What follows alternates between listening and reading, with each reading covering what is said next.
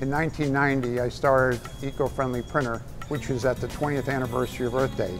I saw middle school kids celebrating Earth Day, and I was completely floored by what they were doing and decided to become an environmental printer, which means that I use 100% post-consumer waste recycled papers. Also, we use soy-based or vegetable-based inks, and if we're doing digital, we use 100% non-toxic toner.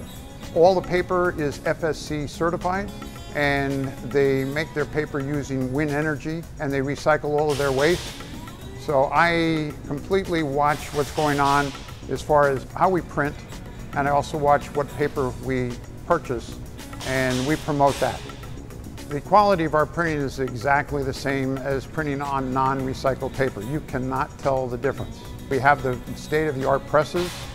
At Eco-Friendly Printer, no job is too small or too large for us. With Eco-Friendly Printer, you start with me.